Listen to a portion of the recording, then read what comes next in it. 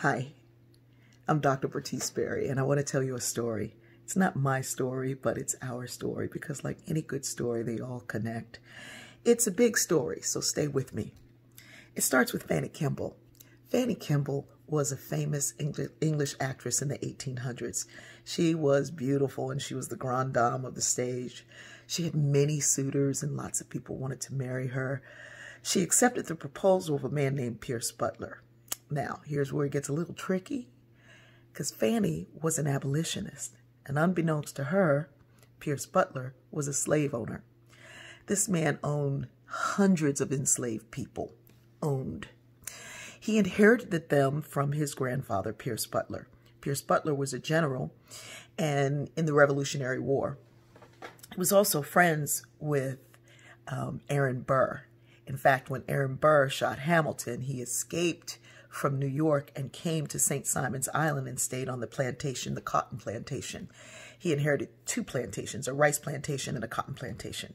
So Pierce Butler marries Fanny, and Fanny doesn't know he's an abolitionist, and then she finds out because they're living in New York in their fine houses. And by the way, a lot of the money from the South went to the North. So when people want to talk about the North and the South, it's like, stop, stop playing. Anyway, so Fanny says to Pierce, you need to let me go see these plantations. And he's like, no, no, no, they're wonderful. We take good care of our people. We love them. You don't know what you're talking about. People don't really know how good it is. They're treated well and we treat them like our own family. So she keeps going and finally, after a couple of years, she convinces him to let her go to the plantation. And she goes to the one right down the road from me and she stays there the, from the very first day. It is horrible, and she can see the conditions of the enslaved people, and she's like, nobody should ever live like this. So Fanny eventually uh, divorces her husband, has to leave her children with him because those are the laws of the time. She writes a book. She is the only person to have lived on, well, only abolitionist to have lived on a plantation and write about it.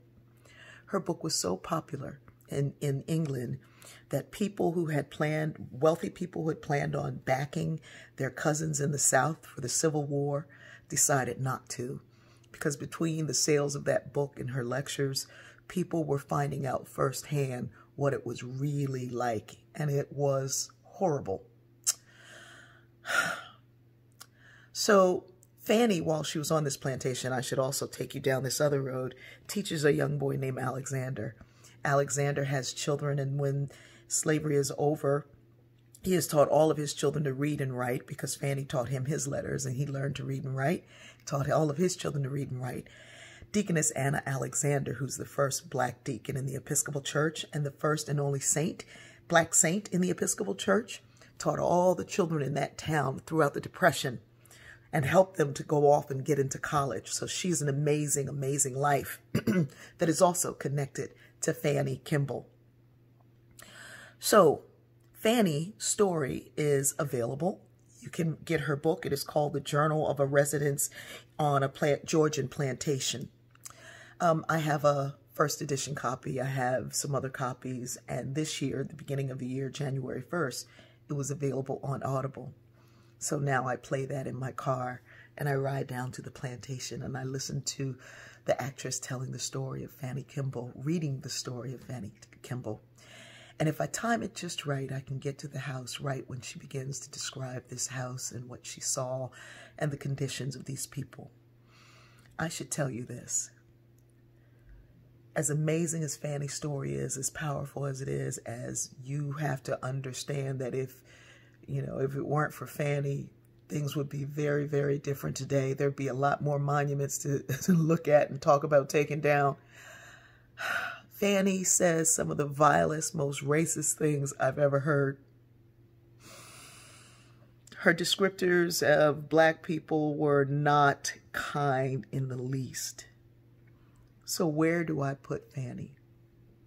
I know as a sociologist that she is a product of her time and that norms can prevent condemnation of anything right and can make anything wrong. I know this. But I also know that this person who held the beliefs, many of the beliefs of the people of that time, still understood that no one should be enslaved to anyone else. There are those who say, when are you going to stop with taking these down? And shouldn't we hold up the good history? And shouldn't we look and find it? There are good points and there are points that are mixed like Fanny's story. And there are points that are just absolutely horrible, horrible and evil. Somebody said, well, what's next? The Statue of Liberty? Like you can read on a wiki page that the Statue of Liberty has a shackle on her foot where she's breaking free. Hence Statue of Liberty. Hence the gift in 1866 celebrating the abolition of slaves. This period of enslavement is complex and horrible and amazing and terrible. There are those who sought to do what was right. I'm always amazed that people say, well, you know, it's a product of the time. Well, how come that person knew that that was wrong and they fought to do everything, gave up everything for freedom?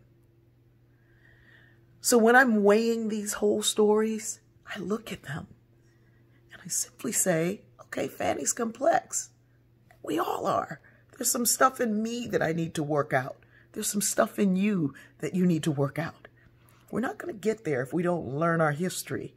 We're not going to get there if we don't talk to one another.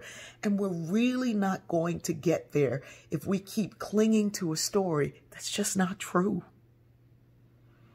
You know how to weigh this. Were people trying to increase their own wealth? Because by the by, when Pierce Butler had to sell everything because he gambled his life away and the only real wealth he had wasn't in the land, it wasn't in the property, because you got those things by mortgaging enslaved people. That's right. We were mortgaged. And so that time that we commemorate in Savannah called the weeping time, where 436 people were sold away from their family members in a two-day period, they all came from Pierce Butler's plantation. Fanny did her best, even with her limited thinking. What could we do with all the books that exist and all the information that's around and all the stuff that we can read and learn and all the people whose stories are here, the people who've gone before us? I've gone way over my time today. But I want us to look deeper, not only in the stories of the past, but in the stories of our own self, in the stories of our life, in the stories of our family. Why? Because all of our stories connect. I love you.